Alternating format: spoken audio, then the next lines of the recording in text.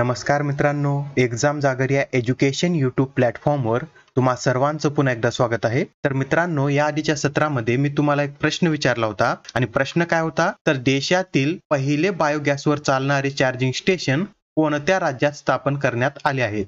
तर या प्रश्नाचं योग्य उत्तर आहे पर्याय क्रमांक एक म्हणजेच देशातील पहिले बायोगॅसवर चालणारे चार्जिंग स्टेशन हे महाराष्ट्र राज्यामध्ये स्थापन करण्यात आलेले आहे. आणि महाराष्ट्रामध्ये पण कुठे? तर महाराष्ट्रामध्ये मुंबई येथे याची स्थापना करण्यात आलेली आहे. आणि मित्रांनो तुमच्यासाठी जो डेली प्रश्न असतो त्याचं कमेंटमध्ये उत्तर देण्याचा प्रयत्न करत चलत जा. उत्तर चुकलं तरी काही हरकत नाही पण ज्यावेळेस तुम्हाला या प्रश्नाचं योग्य उत्तर कळतं त्यावेळेस हे प्रश्न तुमच्या दीर्घ काळापर्यंत लक्षात राहतात. तर ठीक आहे तर आता आजच्या सत्राचा पहिला प्रश्न पहा.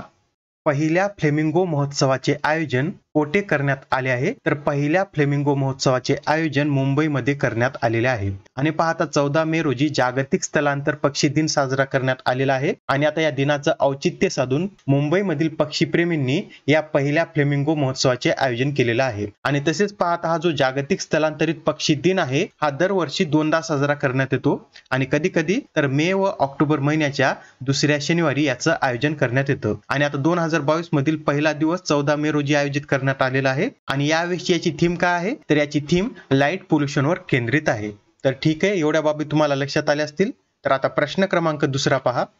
दोन हजार बावीस साठीच्या टेम्पलटन पुरस्काराने कोणाला सन्मानित करण्यात आले आहे? कोणता पुरस्कार आहे? तर टेम्पलटन पुरस्कार. आणि नुकताच हा पुरस्कार फ्रँक विल्जेक यांना देण्यात आलेला आहे. कोणाला देण्यात आलेला आहे? तर फ्रँक विल्जेक यांना हा पुरस्कार देण्यात आलेला आहे. आणि आता थोडक्यात फ्रँक विल्जेक यांच्याविषयी सुद्धा माहिती नोट करून घ्या. तर फ्रँक विल्जेक हे एक भौतिक शास्त्रज्ञ आहेत. आणि सध्या ते स्टेट युनिव्हर्सिटीच्या विभागात प्राध्यापक म्हणून कार्यरत आहेत. आणि तसेच त्यांना दोन हजार चारमध्ये भौतिक शास्त्रातील नोबेल पारितोषिक सुद्धा देण्यात आलेलं आहे. आणि त्यांची काही महत्वाची पुस्तकं आहेत त्यांची नाव सुद्धा नोट करून घ्या. तर a beautiful question the lightness of being आणि फंडामेंट्स हे त्यांची काही महत्वाची पुस्तकं आहेत. आणि पाहता इथं टेम्पलटन पुरस्काराविषयी बोललेलं आहे. तर याविषयीची सुद्धा माहिती नोट करून घ्या. तर आता पहा टेम्पलटन पुरस्कार हा टेम्पलटन फाउंडेशन तर्फे दरवर्षी दिला जातो. आणि या पुरस्काराची स्थापना कधी करण्यात आलेली आहे? तर एकोणीसशे त्र्याहत्तरमध्ये या पुरस्काराची स्थापना करण्यात आलेली आहे. आणि एकोणीसशे त्र्याहत्तर मध्येच हा पहिल्यांदा पुरस्कार देण्यात आला होता. आणि हा पहिला पुरस्कार कोणाला देण्यात आलेला आहे? तर मदर तेरेसा यांना हा पहिला पुरस्कार देण्यात आलेला आहे. आणि आता या पुरस्काराचं स्वरूप काय आहे? तर यामध्ये एक पॉईंट पाच दशलक्ष डॉलर इतकी रोख रक्कम देण्यात येते. आणि तसेच पहा दोन हजार बारा मध्ये हा पुरस्कार तिबेटचे आध्यात्मिक नेते दलाई लामा यांना सुद्धा देण्यात आलेला आहे. आणि आतापर्यंत किती भारतीयांना हा पुरस्कार देण्यात आलेला आहे? त्यांची नाव सुद्धा नोट करून घ्या. तर पहा भारताचे माजी राष्ट्रपती डॉक्टर सर्वपल्ली राधाकृष्णन यांना एकोणीसशे पंच्याहत्तरमध्ये हा पुरस्कार देण्यात आलेला आहे. बाबा आमटे यांना एकोणीसशे नव्वदमध्ये आणि पांडुरंग शास्त्री आठवले यांना एकोणीसशे सत्त्याण्णवमध्ये टेम्पलटन पुरस्काराने सन्मानित करण्यात आलेला आहे. तर आता या पुरस्काराविषयीचे एवढे पॉईंट तुमचे क्लिअर झाले असतील तर आता प्रश्न क्रमांक तिसरा पहा. खालीलपैकी कोणती कंपनी ही जगातील सर्वात मौल्यवान कंपनी बनली आहे? तर आता जगातील सर्वात मौल्यवान कंपनी ही सौदी आरामको कंपनी बनलेली आहे. आणि आता सौदी आरामको कंपनीनं ऍपल कंपनीला मागे टाकलेलं आहे. आणि आता ती जगातील सर्वात मौल्यवान कंपनी आहे. आणि पहा ही जी सौदी आरामको कंपनी आहे ही एक पेट्रो कंपनी आहे. आणि आता सध्या युक्रेन वॉरमुळे तेलाचे भाव वाढत आहेत आणि त्याचाच फायदा या कंपनीला झालेला आहे. आणि त्यामुळे त्या कंपनीनं ऍपल कंपनीला मागे टाकून ती जगातील सर्वात मौल्यवान कंपनी बनलेली आहे. आता पाहिजे सौदी आरामको कंपनीची स्थापना कधी झालेली आहे? तर एकोणतीस मे एकोणीसशे तेहतीसमध्ये याची स्थापना झालेली आहे आणि याचं मुख्यालय कुठे आहे? तर सौदी अरेबियामधील दहारान येथे याचं मुख्यालय आहे. तर आता नेक्स्ट क्वेश्चन पहा.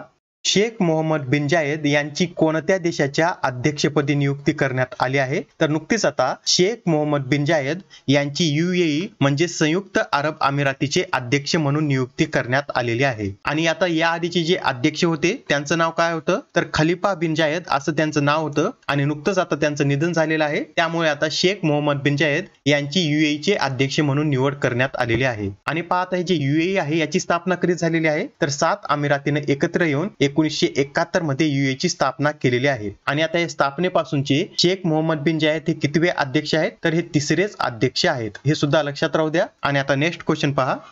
तर आता पहा या प्रश्नामध्ये आपल्याला काय विचारलेलं आहे? तर कोणत्या राज्याने चारा बिजाई ही योजना सुरू केली आहे? कोणती योजना आहे? तर चारा बिजाई आणि आता नुकतीच ही योजना हरियाणा या राज्यानं सुरू केलेली आहे. आणि आता ही योजना कशासाठी सुरू करण्यात आलेली आहे? तर गायींना चारा पुरवठा करणाऱ्या शेतकऱ्यांना प्रति एकर दहा हजार रुपये दहा एकर पर्यंत आर्थिक सहाय्य देण्यासाठी ही योजना सुरू करण्यात आलेली आहे. तर लक्षात राहू द्या इम्पॉर्टंट प्रश्न आहे. नुकतीच आता हरियाणा या राज्यानं चारा बिजाई ही योजना सुरू केलेली आहे. आणि लगेच हरियाणा विषयीचे पण काही महत्त्वाचे पॉईंट आपण पाहूया. तर आता पहा हरियाणाची स्थापना कधी झालेली आहे? तर एकोणीसशे सहासष्टमध्ये हरियाणाची स्थापना झालेली आहे. आणि स्थापनेनुसार हरियाणा हे सतरावं राज्य आहे. आणि हरियाणाची राजधानी काय आहे? तर चंदीगड ही हरियाणाची राजधानी आहे. पंडारू दत्तात्रय हे सध्या हरियाणाचे राज्यपाल आहेत आणि मनोहरलाल खट्टर हे हरियाणाचे मुख्यमंत्री आहेत. आणि तसेच हरियाणामध्ये दोन नॅशनल पार्क आहेत आणि ते कोणकोणते? तर कालेसर नॅशनल पार्क आणि सुलतान नॅशनल पार्क हे हरियाणामध्ये स्थित आहेत. आणि याआधी हरियाणामध्ये भारतातील पहिले वर्ल्ड पीस सेंटर सुद्धा स्थापन करण्यात आलेलं आहे. आणि तसेच भारतातील पहिले हेली हब सुद्धा हरियाणामध्ये स्थापन करण्यात आलेलं आहे. आणि भारतातील पहिल्या व्हर्च्युअल स्मार्ट ग्रीड नॉलेज सेंटरचे उद्घाटन सुद्धा हरियाणामध्येच करण्यात आलेलं आहे. आणि आता नेक्स्ट क्वेश्चन पहा.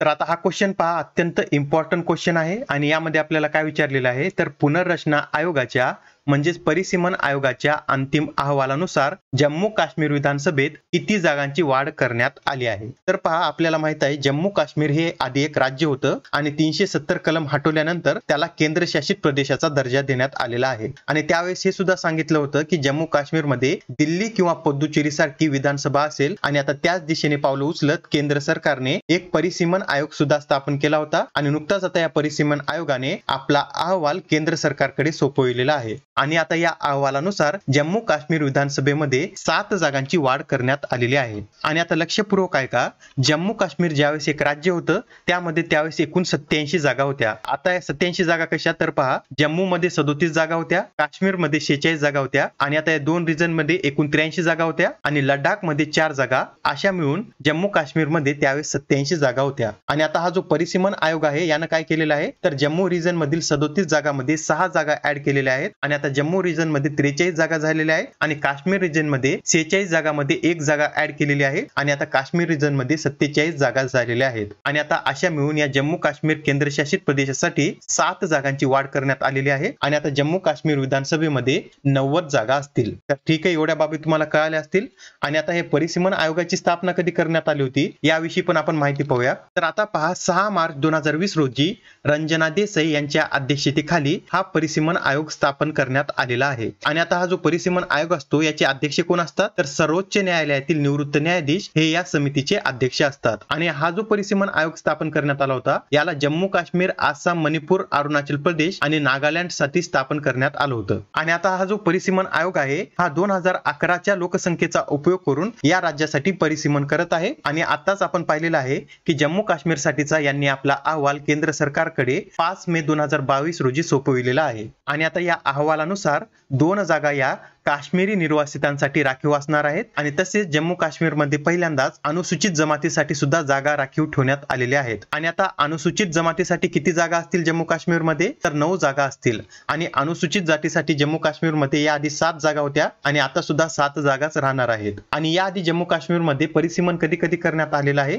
तर एकोणीसशे त्रेसष्ट एकोणीसशे त्र्याहत्तर आणि शेवटचं परिसीमन एकोणीसशे पंच्याण्णवमध्ये करण्यात आलं होतं. पण आता हे जे परिसीमन करण्यात आलेलं आहे हे सर्व परिसीमन जम्मू काश्मीरच्या घटनेनुसार करण्यात आलं होतं. तुम्हाला माहितच असेल जम्मू काश्मीरसाठी स्वतःची एक वेगळी राज्यघटना होती आणि त्या राज्यघटनेनुसारच जम्मू काश्मीरमध्ये परिसीमन करण्यात आलं होतं. पण आताच जे हे परिसीमन आहे हे भारतीय राज्यघटनेनुसार करण्यात आलेलं आहे. हे सुद्धा लक्षात राहू द्या. आणि पहा अत्यंत महत्त्वाचा प्रश्न आहे. सगळे पॉईंट याविषयीचे व्यवस्थितरित्या नोट करून घ्या. आणि तुम्हाला सर्व पॉईंट यामधील समजलेही असतील. तर आता आपण पुढील प्रश्न पाहूया. दोन हजार बावीस साठीचा सार्वजनिक सेवा श्रेणीतील पुलितझर पुरस्कार कोणत्या वृत्तपत्राला देण्यात आला आहे? तर दोन हजार बावीस साठीचा सार्वजनिक सेवा श्रेणीतील पुलितझर पुरस्कार हा वॉशिंग्टन पोस्ट या वृत्तपत्राला देण्यात आलेला आहे. आणि इतर श्रेणीमधील हे पुरस्कार कोणाकोणाला देण्यात आलेले आहेत? तर पहा इंटरनॅशनल रिपोर्टिंग साठीचा आणि राष्ट्रीय रिपोर्टिंग साठीचा हा पुरस्कार न्यूयॉर्क टाइम्स स्टाफला देण्यात आलेला आहे. तसंच फीचर रायटिंग साठीचा पुरस्कार अटलांटिकच्या जेनिफर सिनियर यांना देण्यात आलेला आहे. आणि ब्रेकिंग न्यूज रिपोर्टिंग साठीचा पुरस्कार मियामी हेरॉल्डच्या कर्मचाऱ्यांना देण्यात आलेला आहे. आणि कॉमेंट्री साठीचा पुरस्कार मेलिंडा हेनबर्गर यांना देण्यात आलेला आहे. आणि आता नेक्स्ट क्वेश्चन पहा. एन एस ओच्या सर्वेक्षणानुसार ऑक्टोबर ते डिसेंबर दोन हजार एकवीसमध्ये भारतात बेरोजगारीचा दर किती होता? तर आता या एन एस ओचं सर्वेक्षण नुकतंच प्रकाशित करण्यात आलेलं आहे. आणि त्यानुसार ऑक्टोबर ते डिसेंबर दोन हजार एकवीसमध्ये भारतात बेरोजगारीचा दर हा आठ पॉईंट सात टक्के इतका होता. आणि याआधी बेरोजगारीचा दर हा दहा पॉईंट तीन टक्के इतका होता. आणि त्यामध्ये घट होऊन ऑक्टोबर आणि डिसेंबर महिन्यामध्ये हा दर आठ पॉईंट सात टक्के इतका झालेला आहे. आणि आता हे एन एस ओ म्हणजे काय? तर याचं पण फुल फॉर्म नोट करून घ्या. तर नॅशनल स्टॅटिस्टिकल ऑफिस असं याचं पूर्ण स्वरूप आहे. आणि याची निर्मिती एन एस एस ओ आणि सी एस ओचं विलिनीकरण करून करण्यात आलेले आहे. हे तुम्हाला माहितच असेल. आणि आता प्रश्न क्रमांक नववा पहा. हाँगकाँगचे पुढील मुख्य कार्यकारी अधिकारी म्हणून कोणाची निवड करण्यात आली आहे? तर नुकतेच आता हाँगकाँगचे पुढील मुख्य कार्यकारी अधिकारी म्हणून जॉन लिका चिव यांची नियुक्ती करण्यात आलेली आहे. आणि आता हे जे जॉन लिका चिव आहेत हे हाँगकाँगचे मुख्य कार्यकारी पद भूषवणारे पहिले सुरक्षा अधिकारी ठरलेले आहेत. आणि आता आजच्या सत्रामधील शेवटचा प्रश्न पहा.